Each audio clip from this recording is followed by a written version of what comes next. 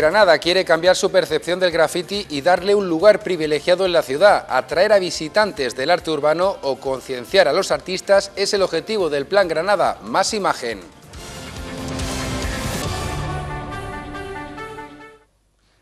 Buenas noches, bienvenidos al informativo de GCFTV, el último de la semana y como siempre gracias por estar con nosotros para estar informados de todo lo que ocurre en la capital granadina así como en el resto de la provincia. Esa que veían es una de las imágenes del día, la concienciación por parte del equipo de gobierno municipal a todos los jóvenes de la importancia del grafiti, pero con responsabilidad y con recado incluido por parte del Partido Popular, es decir, del equipo de gobierno municipal al Partido Socialista. El graffiti quiere subirse al escenario y encontrar su lugar en Granada. Durante esta semana se ha desarrollado un mural en el botellódromo que podrá ver todo aquel que pase por la autovía, una acción que se está desarrollando dentro del Plan Granada Más Imagen. La intención, gracias a este proyecto, de, que es un buen paso, es un primer paso para convertir en Granada en cultura de, graffiti y de murales. Y bueno, la, idea era... Eh, conseguir los colores, las sensaciones de, Granada, los atardeceres, la naturaleza, el icono de la Alhambra que, tanto nos llama la atención a todos y es tan visitada esta ciudad. Un plan que según el ayuntamiento lleva desarrollándose un año. El Partido Socialista también ha incluido en su programa político un plan de la misma materia y así lo ha calificado el concejal de Medio Ambiente. Yo creo que desde el punto de vista político esta persona es un sinvergüenza, porque eso no se puede hacer en ningún caso si eh, se dedicara a la investigación científica, estaría ya apartado de todas las sociedades científicas del mundo, porque no se puede copiar algo. Unas declaraciones de las que el Partido Socialista se ha defendido. Que, que le pregunten a las comunidades de vecinos cuánto se están gastando en limpiar la fachada de esta ciudad. Qué curioso que tres días más tarde el PP mm, sale con foticos, cartelicos y planes antipintadas. Que es curioso. Un plan que, según el Partido Socialista, sería mucho más contundente que el del Partido Popular. Y nos vamos ahora al Colegio Oficial de Abogados que esta mañana ha tenido el primer Congreso de Jóvenes Abogados en Andalucía, un punto de encuentro para que se conozcan entre ellos, debatan sobre temas de actualidad y también sobre las nuevas reformas legislativas. Puede que estas caras sean el futuro de la abogacía andaluza. En esta jornada cargada de ponencias también se ha dedicado un espacio para el debate y para trasladar a las administraciones ideas y sugerencias para la mejora del funcionamiento de la justicia y para reivindicar que... Que redunden en la mejora de la abogacía eh, en general, en cuanto a la prestación del turno de oficio, en cuanto a las actuaciones en los juzgados y especialmente en lo que afecta a esta materia, a la, abogacía joven, que la abogacía joven no podemos olvidar que empezó siendo una parte residual de la abogacía y ahora mismo, hoy en día, pues el mayor número de abogados de los colegios de abogados de Andalucía lo constituyen abogados jóvenes. El colectivo piensa que los abogados jóvenes cuentan con ilusión, preparación y valentía para ejercer esta profesión, aunque a veces se encuentran con obstáculos. Nos encontramos con las dificultades de, mm, financiación, de escasos recursos al inicio de la actividad, eh, poca confianza en, los posibles clientes, eh, el, miedo ¿no? a veces a, afrontar temas nuevos. Más de 100 jóvenes letrados procedentes de toda España han asistido a este congreso que durará hasta mañana. Pasamos ahora a hablar de actualidad municipal. Ya saben que hace unos días se publicaba un informe sobre que el Ayuntamiento de Granada es el menos transparente de toda España. Por este motivo, el Partido Socialista le ha propuesto al equipo de gobierno que tome el compromiso de hacer públicos los datos, así como la información económica del consistorio a poder ser en su página web. Ahora, a esta hora en Manga Verde, eh, poner en marcha medidas que hagan que la página web del ayuntamiento cumpla la normativa en materia de transparencia. Ahora, cuando ya se le agotan los plazos y cuando estamos cerca de incumplir la, propia legalidad. La Junta de Gobierno Local ha dictado un procedimiento a través de una licitación que nos va a costar a los granadinos 90.000 euros para implementar normas de transparencia en la web, como decía, en la web del Ayuntamiento. Acusación del Partido Socialista a la que ha respondido el portavoz del equipo de gobierno municipal, Juan García Montero Bajo. Y lo que demuestra el que hayan hecho una rueda de prensa sobre este asunto hoy es que ni siquiera se han leído, y tienen la obligación de hacerlo, los expedientes de Junta de Gobierno local. Bueno, pues ya hubiera sido completamente heroico que hubieran ido a Secretaría General y hubieran visto el expediente pormenorizadamente, porque se hubieran llevado la gran sorpresa de que su rueda de prensa no era necesaria porque hoy hemos aprobado un gasto de 95.590 euros para, para llevar a cabo con luz y taquígrafos la terminación del expediente para que esta herramienta esté rápidamente operativa. Motivo el de la transparencia que también llevará el Grupo Municipal DUPIDE al próximo pleno, el que se celebrará correspondiente a este mes, el de abril. En concreto, se trata de las dietas que reciben algunos concejales pertenecientes a consejos de administración de empresas, tanto mixtas como 100% públicas, en el caso de Masagra, Emucesa o Emuvisa. Desde UPIDE sospechan que se habla de cantidades de 8.000 euros anuales por concejal. En fin, no hay justificación absolutamente ninguna para, eh, para este monumento. No es otra cosa que un sobresueldo encubierto, que además, fiscalmente, a no ser que pase de unos, eh, de unos límites, no se cotiza por ello. Estamos hablando de que es un sobresueldo neto que se mete en el bolsillo los concejales de este, este consistorio, todos de todos los grupos municipales, menos el DUPID, porque desde un primer momento lo dejó muy claro. Esto no es una dieta, es un sobresueldo encubierto. Y seguimos en el Ayuntamiento de Granada, en el Salón de Comisiones y con el Grupo Municipal de Izquierda Unida, pensando también en el próximo Pleno Municipal. En este caso, presentará una moción en la que instará a que se retire la imagen recaudatoria que se tiene de nuestra ciudad hasta 62 millones de euros para las arcas municipales en sanciones de tráfico. Así lo ha expresado Izquierda Unida, quien propone que se mejore la notificación de las multas, que se aumente la señalización y que se destine la recaudación en la mejora y concienciación de la seguridad vial de nuestra ciudad sanciones de tráfico a través de la captación de imágenes con eh, numerosas cámaras instaladas en nuestra ciudad y hasta ayer con el famoso coche pone multas, que como sabéis ha puesto más de 6.000 eh, multas. Entendemos que esta medida es absolutamente electoralista y queremos mandar un mensaje a los granadinos. El 25 de mayo, si el Partido Popular vuelve a tener mando en esta plaza, que les quede claro que el coche pone multas volverá a pasearse por todas las calles de Granada. Siempre polémicas las sanciones en multas de tráfico en nuestra ciudad. Así lo aseguraba Izquierda Unida, quien habla de 62 millones de euros en recaudación por este concepto. Seguimos hablando de más asuntos y como ya saben, en la tarde-noche de ayer se presentaron las listas municipales del Partido Popular de cara a las próximas elecciones que tendrán lugar el día 24 de mayo. En ellas, el alcalde de nuestra ciudad, José Torres Hurtado, anunció lo siguiente una consulta popular para decidir sobre el nuevo acceso de la Alhambra. Esta es la propuesta que el alcalde de Granada anunció que hará en octubre si se mantienen en el poder de la alcaldía. Eso y consultar también a los granadinos si están de acuerdo con la propuesta que reiteradamente le ha hecho el consistorio al patronato del monumento, la de destinar dos euros del precio de la entrada de la Alhambra a la conservación y mejora del albaicín. ¿Qué opinan los ciudadanos sobre esa posible consulta popular y del acceso a la Alhambra? ¿Qué mejoraría? Y también, por otro lado, ¿qué opinan que el ayuntamiento pida, reitere esa petición al patronato de la Alhambra de que se destinen dos euros para la conservación del albaicín? Pues muy más, que no, que no, que no se haga nada allí, en la Alhambra. Que no, que la Alhambra es una cosa cultural, una cosa que es muy bonita para verla y para que vengan a verla, pero no para poner restaurantes ni nada de eso. Cada parcela con lo suyo tú, la ciudad, idea la Alhambra para el patronato y para los que llevan el tema. Porque el problema es Junta de Andalucía, Ayuntamiento de la, ciudad. Supongo que para el turismo sería bueno, el turismo de Alhambra, para la Junta de Andalucía, eh, quizás para Granada no sea tanto.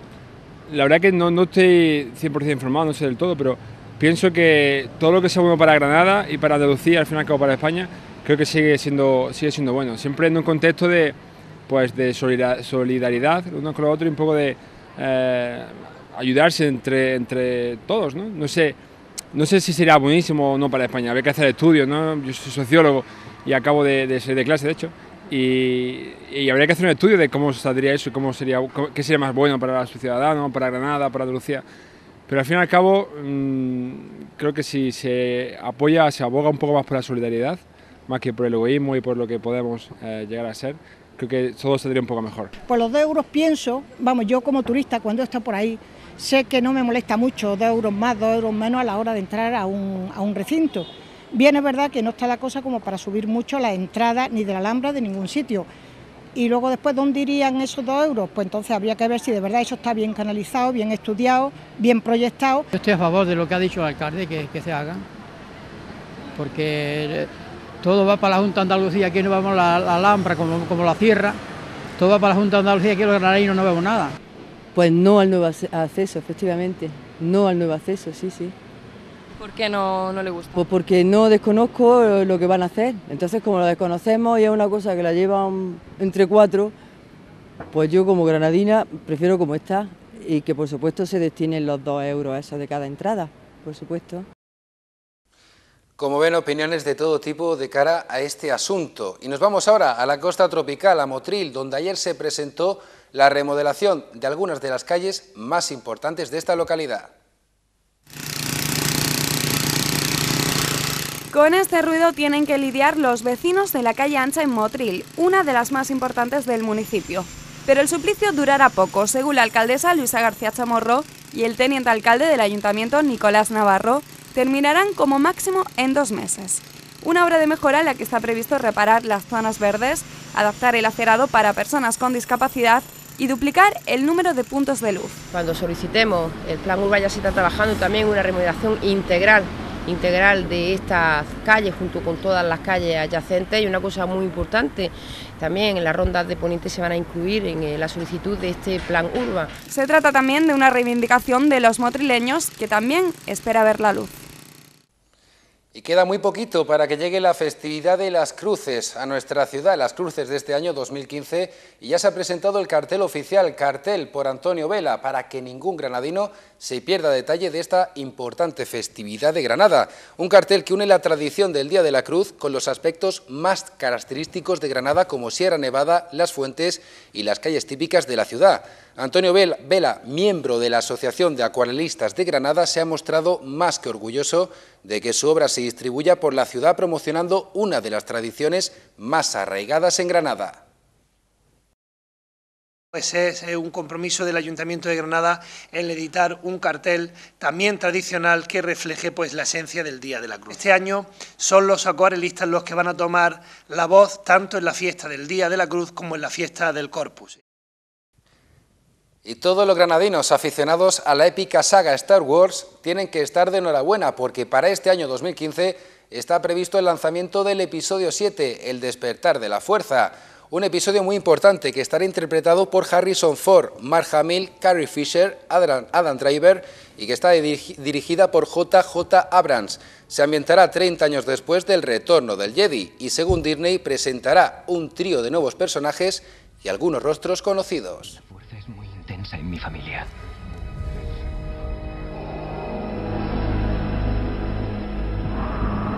Mi padre la tiene.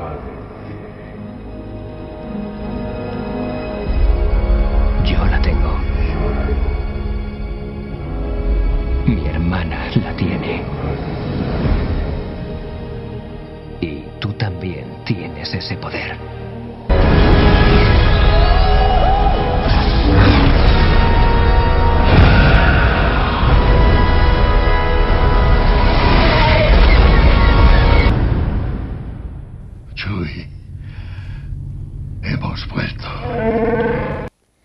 Película sin ninguna duda que llamará mucho la atención de muchos aficionados a Star Wars.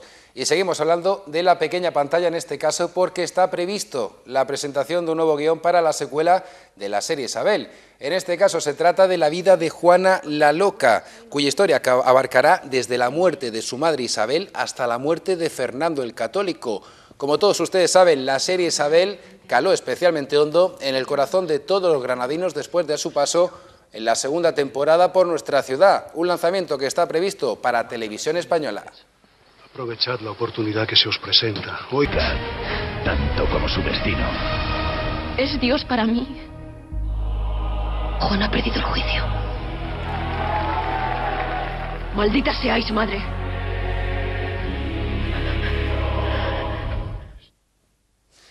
Importante noticia es el lanzamiento de la secuela de la serie Isabel con Juana la Loca como protagonista. Seguimos repasando más noticias en formato breve.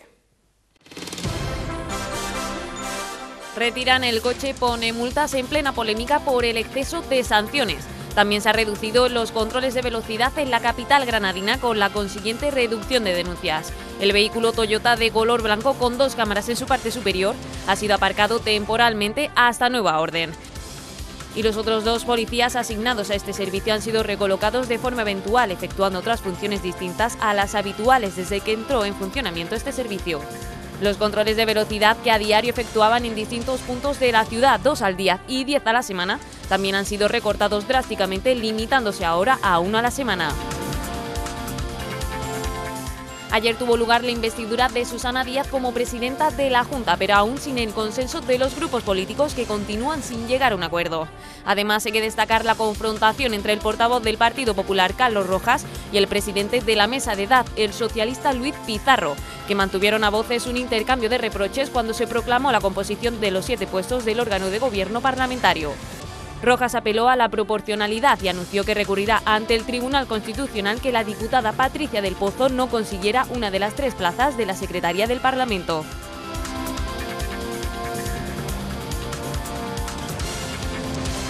Juzgan a un hombre acusado de atacar con artefactos incendiarios a sus vecinos en la madrugada del 18 de octubre de 2013. Uno de los fuegos obligó a desalojar de sus casas a 180 personas y la Fiscalía reclama los 7.000 euros que costó el dispositivo de bomberos y policía.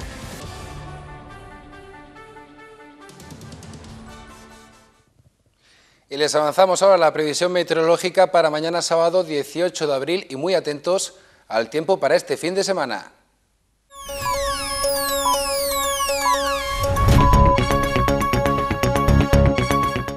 Para mañana sábado se prevé un día con intervalos nubosos altos y nubosidad de evolución en las sierras del nordeste de la provincia. Las temperaturas no sufrirán muchos cambios. Los termómetros en la capital oscilarán entre los 23 grados de máxima y los 8 de mínima. En el resto de la provincia, valores similares.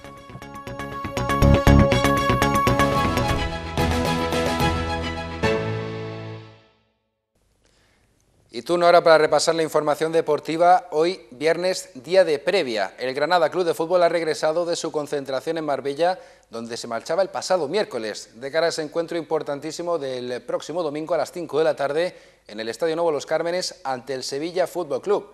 Un Sevilla que jugó en el día de ayer la ida de los cuartos de final de la UEFA Europa League ante el Zenit de San Petersburgo en un partido que comenzaba, como ven, con este tanto de Riasansev en el minuto 29 que ponía por delante al cuadro ruso.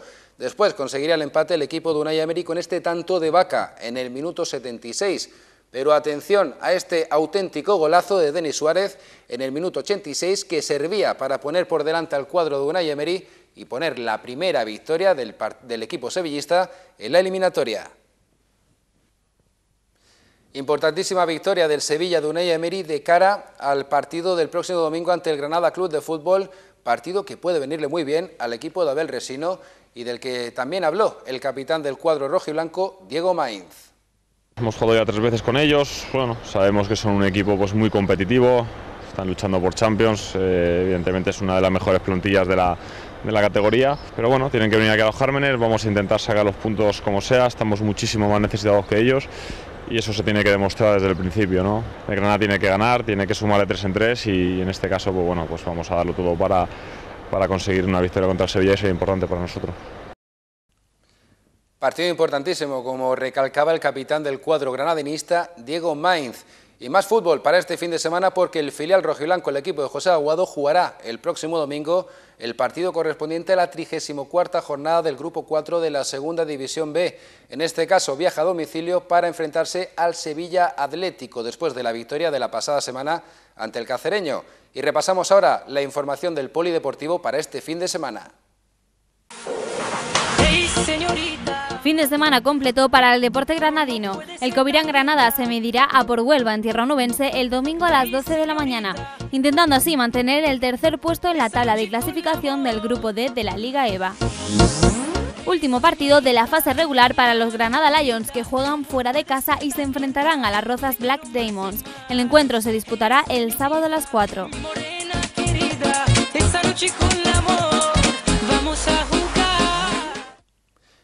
Importante agenda deportiva sin lugar a dudas para este fin de semana.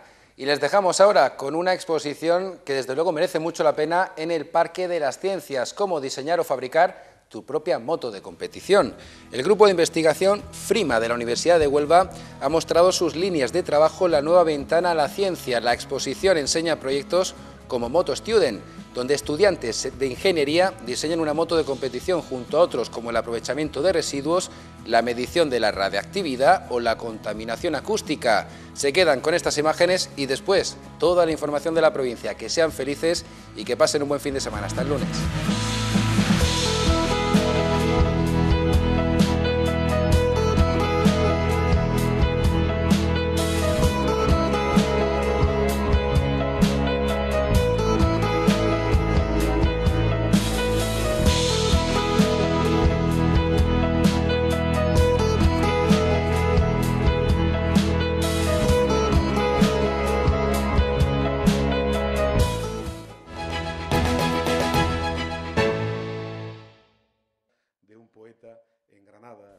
Antonio Muñoz Moya, Fernando Valverde y Manuel Moya reciben en Granada el vigésimo primer premio Andalucía de la crítica, primera vez en 21 años que se celebra en Granada. El máximo responsable de la Diputación de Granada, Sebastián Pérez, presidió en Condes de Gavia el acto de entrega de los vigésimo primer premios Andalucía de la crítica Antonio Muñoz Molina, que ha estado representado por su hijo Arturo Muñoz Vico, Fernando Valverde y Manuel Moya. La novena ganadora en la categoría de narrativa, como La sombra que se va de Antonio Muñoz, cuenta la historia de la fuga de James E. Rey, que el 4 de abril de 1968 asesinó a Martin Luther King. El libro ganador del Premio de la Crítica en Poesía otorgado por unanimidad ha sido La insistencia del daño del granadino Fernando Valverde, que fue publicado por la editorial Visor. Y en relato corto, Caza Mayor del onubense Manuel Moya, una obra que se adentra en la solvencia de una serie de historias múltiples, abigarradas en cuanto a su existencia creativa. Ha sido entrañable las tres intervenciones. Creo que no es necesario decir en Granada, decirle a Arturo lo que simboliza Antonio Muñoz Molina para, para nosotros.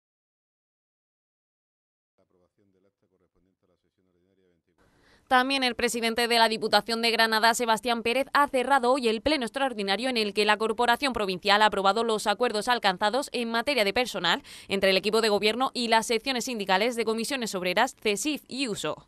Tras años de unas negociaciones de cuya mesa se levantó UGT, los trabajadores recuperan los derechos que les fueron suspendidos a partir de 2010, como consecuencia de la crisis económica.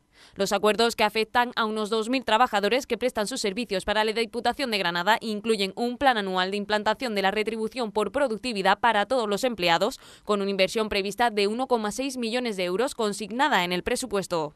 Lo más importante que tiene que decir esta presidencia es que adquirió un compromiso político y un compromiso personal con los trabajadores de esta casa.